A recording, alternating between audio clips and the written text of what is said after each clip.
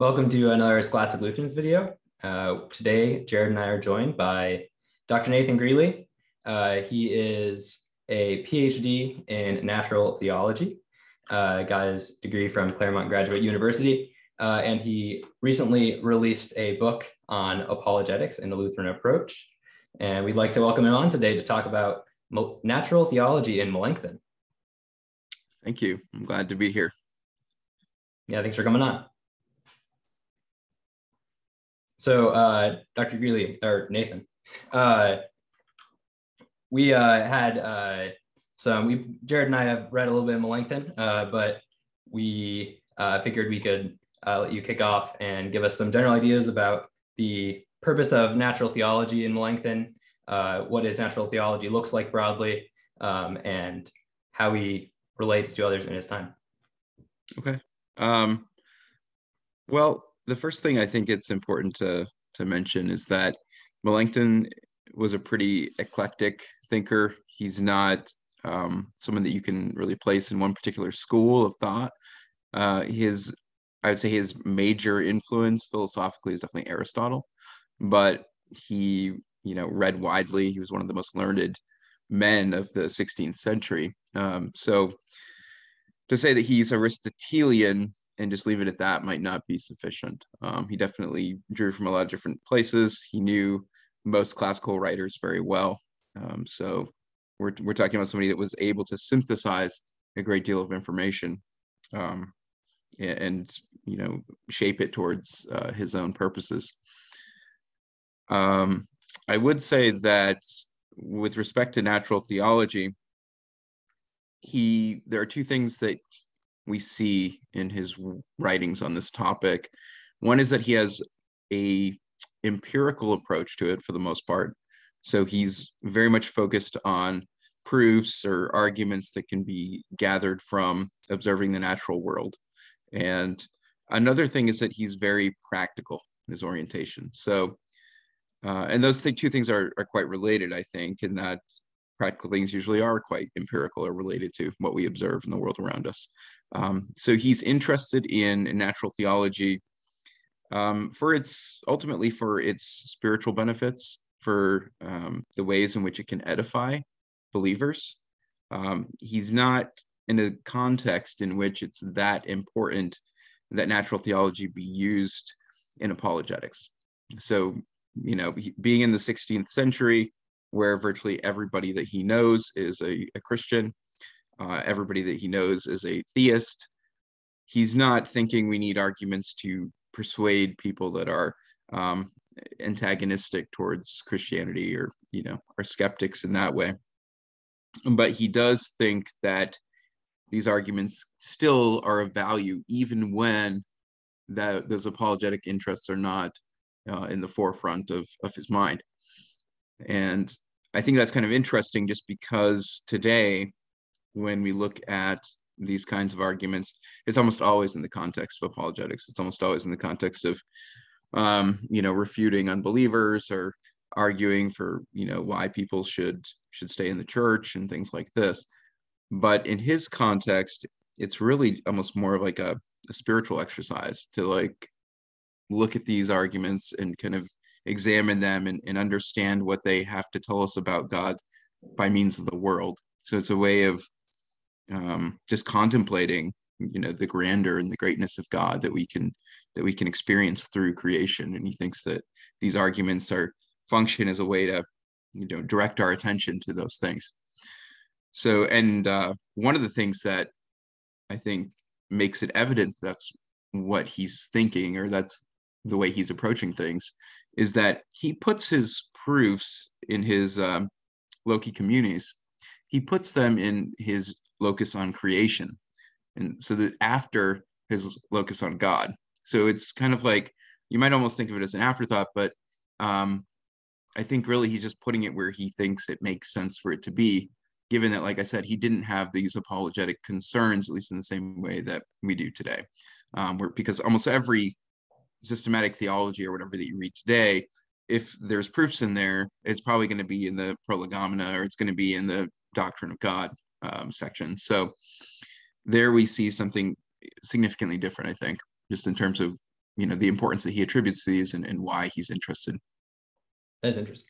I, I noticed when i was reading through it uh, some of that with his his emphasis is certainly even though he wasn't a pastor is, is pastoral and directed towards piety and, and practical use yeah for sure for sure. So um but he it's interesting too he doesn't discount them because they're not getting used in that that way you know for him they're still important. And um i think that's something that gets lost because a lot of times today you know it's kind of like well if you're not having if you're not struggling with your faith or if you're not you know tempted by unbelief then you can just ignore these kinds of things um, or they're not things that you need to concern yourself with. You can focus on you know the gospel and, and just you know thinking about um, what christ has done for you and things like that.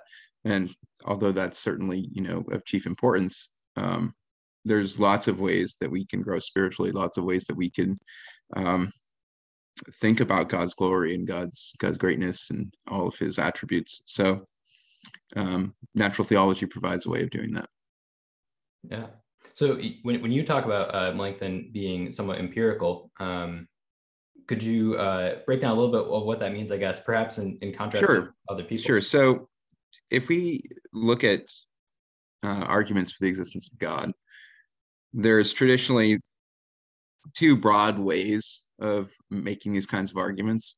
And one is called an a priori approach.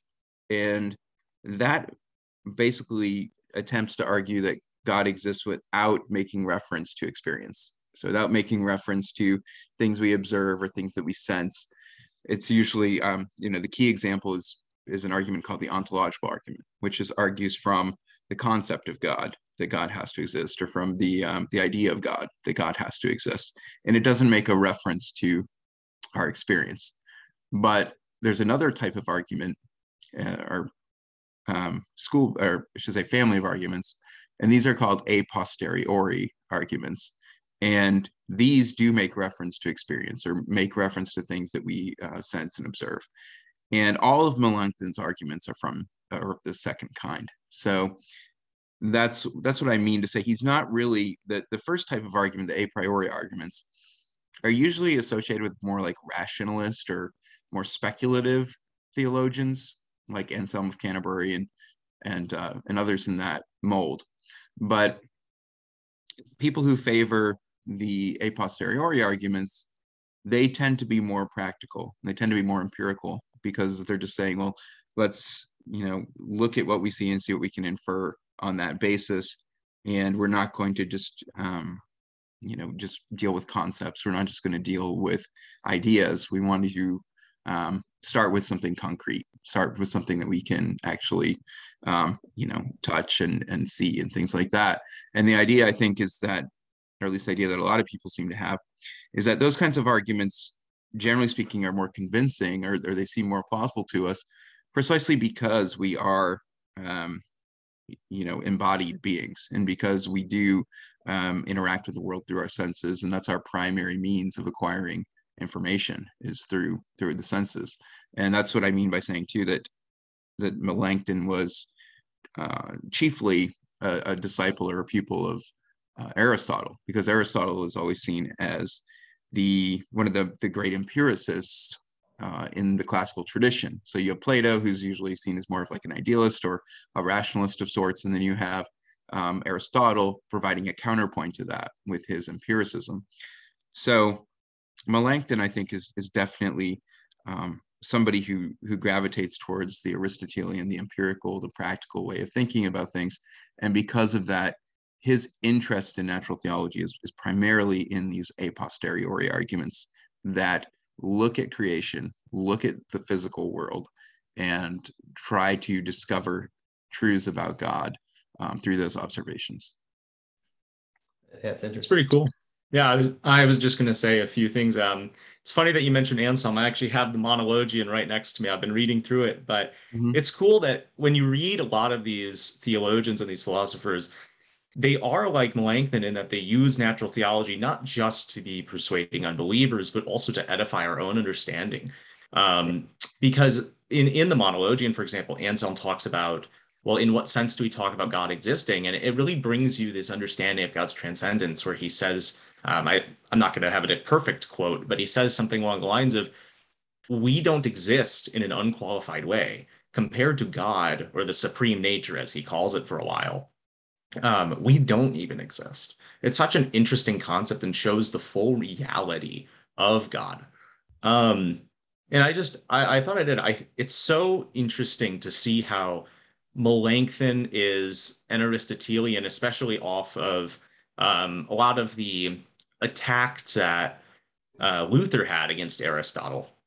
And I know this is a whole other topic, but it's really enlightening to see that there's a way that you can use Aristotle in this very practical sense because sometimes Aristotelianism can be used really specula- speculatively to where we go beyond what scripture gives us.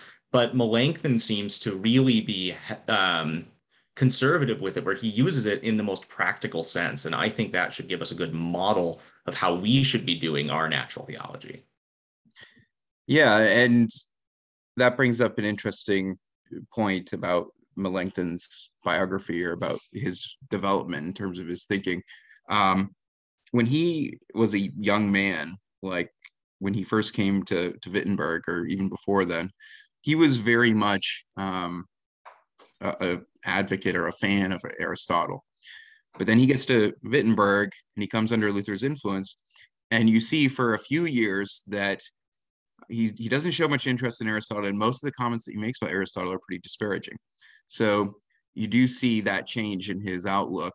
But then when you get into the late 1520s and into the 1530s and after that, you see that he has kind of this like um, chastened view, I guess you might say, where he's adopted an evangelical standpoint, of course, with law and gospel and things like that. So he's taken on board the criticisms of Aristotle that Luther has made, but he's also come to see that even in light of those criticisms, or even in spite of them, uh, there are still things in Aristotle that are worth learning from and worth studying.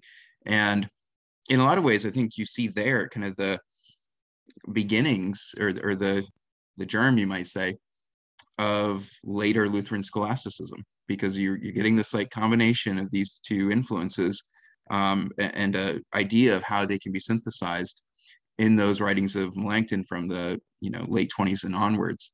Um, in particular, he was he did think that you know Luther was very much opposed to Aristotle's ethics, but what Melanchthon came to see and believe is that uh, Aristotelian ethics is actually very useful as long as we circumscribe what we what it can be applied to. So, with respect to external or civil righteousness, what he has to say about ethics is actually true and and good and and worth holding on to.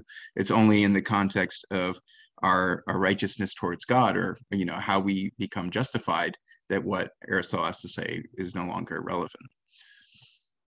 So uh, obviously, uh, I did not mention this at all before this, but do you know in particular what uh, might have caused him to have a little bit of shift of mind to being a little bit more favorable towards Aristotle, or I think not really know? I think a lot of it just had to do with being in a university setting and having to teach courses on a variety of subjects and, and just realizing that uh, the resources that Aristotle um, provides are are still useful and still necessary in some ways because there's you know there's certainly things that you're going to be studying in a course of study at a university that um, you know the Lutheran Luther's theology, you know, is not necessarily going to speak to, at least not directly. So there are things that you're going to have to, um, you know, pull into your curriculum from other sources. Um, another thing too is that the 1520s was kind of a tumultuous decade, and Melanchthon witnessed a lot of uh, behavior that troubled him. You know, a lot of ignorance, a lot of um, immorality and things like that that he he believed were um, not necessarily the result of the Reformation, but that the Reformation had had perhaps presented an opportunity for these things, at least to some people. Um, and because of that, I think he he felt that uh, emphasizing the importance of ethics and things like that uh, was was important again. It was something that they needed to reemphasize after the initial break with Rome and the initial kind of reformation of the church that happened in the early years of the Reformation. I think he thought that a emphasis on godly living was something that needed to be recaptured and, and restated. Um, and I, I think that he thought that, and, and just civil righteousness, you know, he felt like that was in decline. So he felt like those things needed to be reemphasized. And he thought that Aristotle provided um, a good um, resource for that. And with respect to that sphere, I think that's certainly true. If we're, if we're looking at our, you know, our righteousness towards other people, our righteousness in the civil sphere, I think that's right that Aristotle does provide um, helpful resources. It's just, you know, we don't want to mingle that, of course, with our righteousness uh, towards God or coram deo. Yeah, with the I, that's interesting, especially with in relation to the, the third use of the law. In uh, Luther mentions it but once in his writing, uh, it's in his his antinomian disputations. But Melanchthon uh, certainly has it in his Loci and and discusses it uh, more thoroughly, which would make sense in that context. Right. So that was definitely something that interested him uh, in particular, and and you know that may have just been because of his personality or his you know his dispositions that he had, but um I do think that by yeah by integrating these different influences, he had a, a lasting influence on the Lutheran tradition. And I think if we look at um, Lutheranism through you know the rest of the 16th and the 17th centuries, Melanchthon's influence is really just as important as Luther's. I don't think that you can really say that one is necessarily more important than the other. Obviously, Luther got things started, but in terms of the actual shape that things took af- thereafter, I think Melanchthon's influence was just as prominent. And uh, some people, of course, think that's a bad thing. Some people think that all that Lutheran scholasticism is is horrible stuff, and we just need to go back to Luther circa 1520, you know, and that's where our theology should be forever. Um, I'm not somebody that that shares that view, but um, I think that I don't, I don't, think we would either, considering our channel is named after the the Luther right. classics after all. right. I think that generally speaking, I think that everything that happened after Luther's time, up until the Enlightenment, was largely salutary. It was largely good, and um, and I think Lutheran theology in the 17th century really flourished in a lot of ways. And I think there's so much great stuff from that century that has not uh, you know, hasn't been translated and is largely unknown, but there's lots of gems buried in that that century. So it would be great to just see more of it come to light, and and that's happening, of course. I hope my hope is that after Concordia is done with the Gerhard translations, that they will turn to Calov or or Quenstedt or someone like that and just keep going. You know, I would love that, but we'll see what happens. Well, I can say uh, a few things. I'll try to be I'm kind of in the know on this, surprisingly, but I'll be okay. as um, good as I can. What's nice is that I know they're ELDoNA, and we're more on the LCMS AALC side of things, but ELDoNA actually does have some Quenstedt stuff out. So I actually have his um, creation and the church, and I've read the church; it's really good.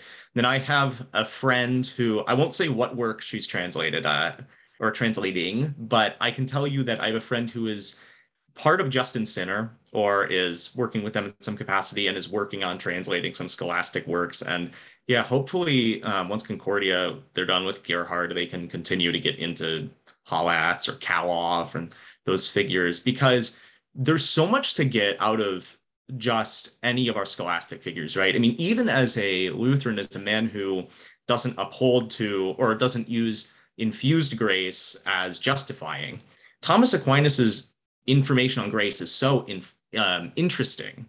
And then we also have later figures. I mean, obviously within the Lutheran tradition, Martin Chemnitz, Johann Gerhard, their works are just every single sentence is just packed with information and it's so edifying and so knowledgeable that I really hope we can get more of those works translated and popularized to educate our laity and hopefully lead to a real scholastic revival of sorts. Yeah, I think the effect on the Lutheran Church in America would, uh, and throughout the world, would definitely be very positive. And I think it would lead us in a, a, good direction where we would become more true to ourselves and just more aware of, you know, what our, what makes us different and, and what we should be focused on. So, um, because I do see us as, you know, we are Protestant Catholics, basically, right? We're evangelical Catholics. And I think that that it's hard to um, it's hard to remember that or it's hard to understand why that's important or what what its significance is if we don't have these sources to draw on that kind of show us how to do that show us what that involves or what that's uh, what it entails. So yeah i hope that you know we just keep seeing more and more good stuff. I'm, I'm really happy and grateful that gerhard's available because i feel like that in itself has just made a huge difference you know in terms of what people think of as being normal for lutherans what people think of as being true lutheranism or you know um, like i said there's a lot of people who in the 20th century wanted Lutheranism to kind of just be stuck with Luther 1.0, you know, back in the late 1510s and early 1520s, and never to kind of like move past that, those emphases that Luther, you know, was focused on then. But I see that as, as kind of a, um, a narrowing of our tradition that's not really all that helpful or necessary. Um, I, I, definitely appreciate the big picture Lutheranism that I see in the later scholastic writers, that where they deal with all kinds of topics and they're interested in all, every facet of theology. It's not just you know a few things that that Luther was primarily focused on, as important as those things are. Um, so, yeah, that's my my basic take on that yeah, it's, I think it can be it can be easy in American Lutheranism to get to get trapped in that uh, just Luther and, and not exploring the other authors as much. Yeah, just Luther, just justification, nothing else really. You know, justification is not the the article by which the church stands or falls. It's the only article that we have any interest in whatsoever. You know, that and the existentialists. Yeah, right, right. right uh, you mentioned earlier the, the Enlightenment and uh, Melanchthon as a, as a pre-Enlightenment thinker uh, and as a Lutheran especially, I, I think he certainly has a, a, a strong take on uh, the, the fallen intellect of man and, and how that relates to his uh, natural theology. It seemed to me that that impacts uh, his his thought on that quite a bit. I would agree with that. I think that he does think that evidence of God is ubiquitous in the natural world. Like it's, you know, always pre- present. It's always something that can be uh, seen, and we should be sensitive to that. However, he does think that our knowledge that we acquire through nature is very limited. And Luther says quite similar things. Um, Luther also would agree that we know that God exists because of what we observe in nature. So Luther's not opposed to natural theology either. Uh, Melanchthon has more to say about it than Luther does. But um, but he would say that we don't we're not able to discover anything about God's will um, through natural theology. We're not able to discover the plan of salvation in any sense. Um, we're not able to discover truths like those of the Trinity or the Incarnation. So all of these things remain opaque to us apart from special revelation. So what he's going to to say is that as great as the the signs of God's existence in creation are and and as important as they can be to contemplate and consider um, for our, our spiritual I mean partly he thinks it's important for our spiritual well-being to contemplate these things just partly because it um, he thinks it's so easy for us to kind of forget God right? And to just start thinking about worldly things and to lose sight of what our ultimate aim and purpose is. And um, and so he thinks that knowing how to look basically how to look for signs of god's presence and god's reality in creation is a valuable asset for the christian. It's a valuable skill to have. Um, he also thinks that there's an innate knowledge of god. So he thinks um, that there's both an innate and an acquired knowledge. So you see this distinction made in later Lutheran scholastics too. Virtually every Lutheran scholastic from Chemnitz onwards is going to say that there's an innate knowledge of God that we're born with, and that's connected to the natural law. Um, and that's something that we do suppress and something that we are able to ignore rather easily, but it is there. So that's a, there's this implanted knowledge. And then there's also this acquired knowledge that we get through using arguments or through you know making inferences on the basis of what we observe. But in both of those cases with respect to either the innate or the acquired knowledge he is going to say it is quite limited uh, especially after the fall. So you know before the fall um, you know we were in a different situation and and we didn't necessarily need to know everything that we know now to be saved you know like the gospel and so forth. Um but he would have said our, our knowledge before the fall was certainly much more comprehensive than it is now. Now our knowledge is basically limited to the fact that there is a creator or there is um, a cause of the universe. And there's not you know some of the divine attributes like the things that god must be or must have in order to to make that possible or, or to make creation possible certainly he would say that we could infer those things like that god is you know all powerful and things like that or god is wise and so forth.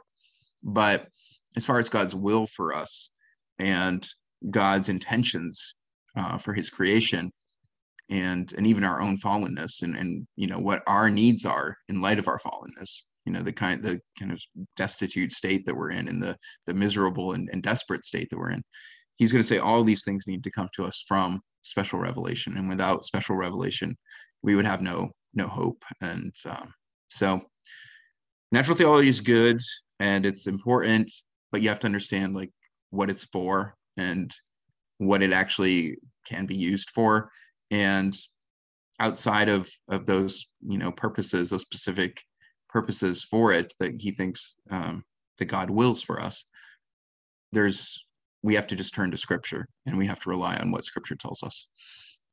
So, given that uh, Melanchthon sees that we naturally cannot discern the will of God uh, and our, our fallen intellects, um, and I don't know, this might be a little bit out of scope, but does he uh, draw any conclusions to that or from that uh, regard with regard to natural law and what people know about good and evil on their own? So he does think that we have a natural law that is implanted in our minds, or a knowledge of it, I should say, knowledge of the natural law implanted in our minds. And from that, we're able to discern, um, you know, in broad strokes, what is good and what is bad, and what is honorable and what is shameful, and what is to be done and what is to be avoided. So he would say that that knowledge is present uh, in all human beings. He would say it's much, it's it's um, definitely distorted after the fall. You know, it has definitely deteriorated.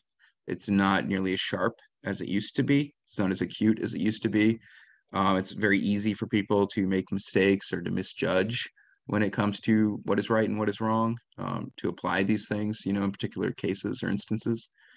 But he is going to say that we all have, uh, just by virtue of being human, we have a knowledge of what is right and wrong and we have a knowledge that we're obligated to do what is right and we have not and that obligation um, is dependent on there being a lawgiver and and being a judge to whom we're accountable so he thinks that there is a knowledge that's the innate knowledge of god and the innate knowledge of the natural law he thinks of them as being connected right? So you get when you get one you get the other.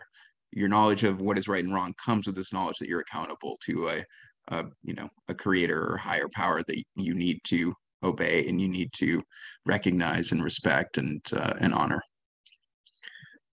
Well it certainly sounds uh, pauline and at least yeah so so is exactly. So if you look at um his commentary in romans on romans 2 um you know he says exactly what you would expect him to say that everybody has the law of nature written on their hearts and everybody knows what is good and what is evil um, and it's just a matter of um, after the fall, there's a, a real lack of willingness to do what we know to be good. Um, but we do know that we do know these things, and we do know that God is the lawgiver. We know that we're accountable to Him.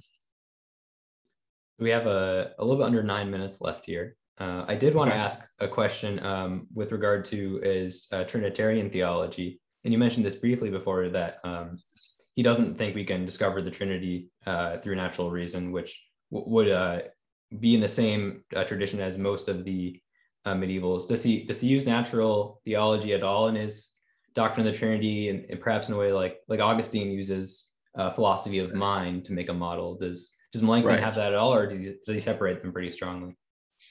So I would, yeah, he separates them pretty strongly as far as I can tell. So you're right that uh, Augustine and and others that followed Augustine oftentimes talked about there being uh, vestigia or you know footprints of God or of the triune you know reality in creation, and so there were these like um, you know in the human mind there would be like memory and reason and will and things like this that would be um, symbols of something that was both three and one at the same time, right? And Melanchthon doesn't really talk much about that stuff. I think because from his point of view, that would be um, unnecessarily speculative. And like I said, he's he's pretty practical in his thinking, and I think he thinks that the Trinity is sufficiently established by Scripture, and to you know to look for signs of it elsewhere well they might be there but at the same time you know this is quite debatable and and it's not it's not clear cut or it's not obvious. And so therefore i think he would say that when it comes to that doctrine we just need to accept it as a revealed doctrine and not as something that's um, or i should say revealed in special revelation or in, through scripture not something that we find in nature that's interesting. So, so he, he perhaps departs a little bit from the the earlier uh, medievals, if, if we can consider him a medieval. Uh, yeah, so I, I think his view is his view is probably the same as that of Aquinas on that topic. So Aquinas would, you know, doesn't think that we can discern the reality of the Trinity by looking at nature. He thinks that's only something we know from the Bible. And I think Melanchthon and, and Luther too, and, and most of virtually all of the reformers, I think, took that same approach um, to this topic. Very That's well. interesting. Um, do we have? Do you think we have time for one more quick question? I mean, we have roughly six minutes yeah, here. Left, yeah. yeah, I was just going to say. So we mentioned in the beginning of this that you know you have a new book out. Mm-hmm. Um, it's actually on apologetics. It's an introduction to apologetics.